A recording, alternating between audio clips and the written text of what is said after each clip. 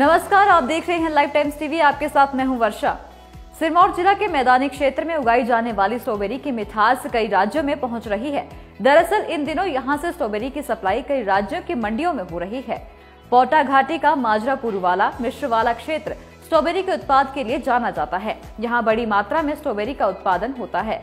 खास बात यह है कि यहाँ स्ट्रॉबेरी के उत्पादन के लिए लोग रासायनिक खाद का इस्तेमाल नहीं करते हैं।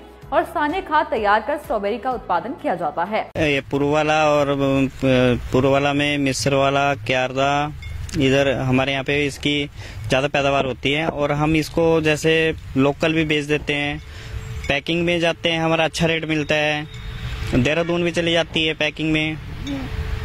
और अगर इसमें और युवा आना चाहते हैं तो आ सकते हैं, सर इसमें बेनिफिट ठीक है। मैक्सिमम जैसे हमें अगर पाँच बीघा लगाते हैं, हमें उसमें कम से कम पाँच सात लाख रुपए का बेनिफिट हो जाता है।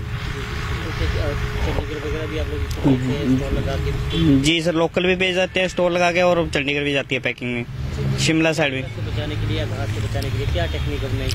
टेक्निकल सर जैसे सर, हम नीचे, जैसे हमारा फ्रूट खराब नहीं होता, हम इसमें मल्चिंग करते हैं, अच्छे तरीके से। पहले तो हम घास वगैरह लगाते थे, जैसे जैसे सर, अब टेक्निकल आ रही है हम इसको बढ़ा रहे हैं मल्चिंग करते हैं इसमें।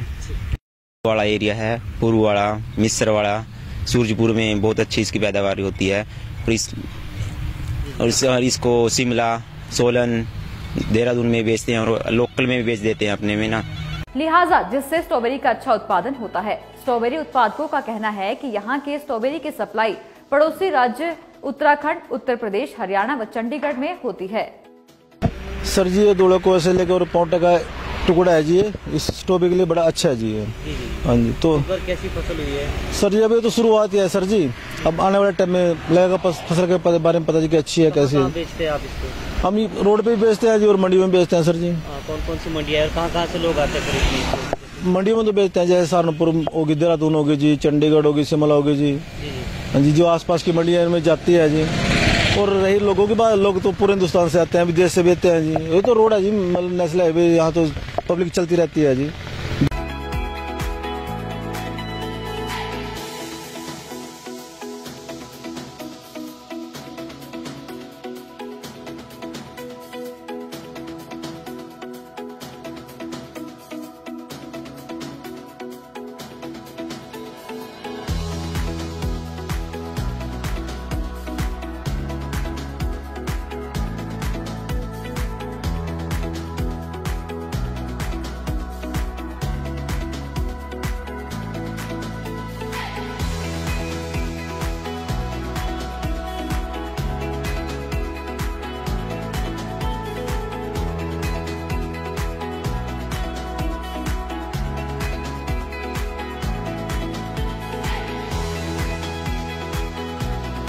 लाइव टाइम्स टीवी के लिए नाहन से सतीश शर्मा की रिपोर्ट। टाइम्स टीवी के फेसबुक पेज को लाइक करें और यूट्यूब चैनल को सब्सक्राइब करना मत भूलिएगा।